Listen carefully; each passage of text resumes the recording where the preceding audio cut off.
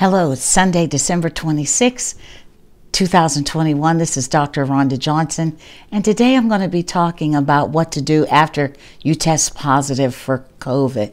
Now, first, I am offering general information. This information is not to take the place of your healthcare provider. Always, folks, consult your doctor. So, your test is positive. What do you do next? Well, first thing I want you to realize is that getting COVID infection can happen to anyone. Most of us never know how we got infected. So please don't feel ashamed, guilty, disappointed, self critical, or even angry. Second tip is stay home, except to go to uh, the doctor or receive medical care, because most of us can recover at home. Your whole point of staying home is not to spread this virus to others.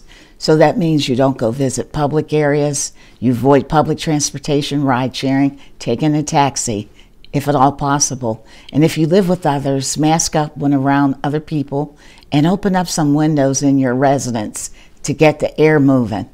Third tip is to take care of yourself, get some rest, and most importantly, stay well hydrated. Try to eat something, folks, even if it's only jello or soup or crackers if you don't have much of an appetite. Take the over the counter medications for fever or aches according to the directions. Have some throat lozenges for sore throat if that makes you feel better. My fourth tip is to monitor your symptoms carefully. You know, you can keep notes of your symptoms, such as your temperature readings or your pulse oximetry readings if you have a pulse oximeter at home. It makes discussions with your doctor a little bit easier. My fifth tip is to stay in touch with your doctor. You know, most people can be managed with consultation by their primary care doctors, even some telemedicine visits. Most people don't need to go to the emergency room. However, if you have trouble breathing or have other warning signs such as confusion, chest pain, or pressure in your chest, inability to stay awake, or if you think you have you're having an emergency, call 911, let them know you have COVID, or have someone take you to the nearest emergency room. Tip six is to call a family member or friend.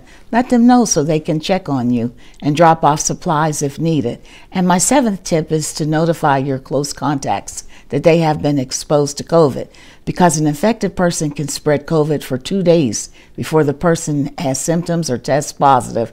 Now, I don't know anybody who wants to get COVID, and with Omicron, you can get reinfected if you had COVID before and if you're vaccinated and boosted. So, folks, fortunately, Omicron seems to cause mild infection at this time. Stay safe, take care of yourself. That's my message. My views are my own, and have a blessed day.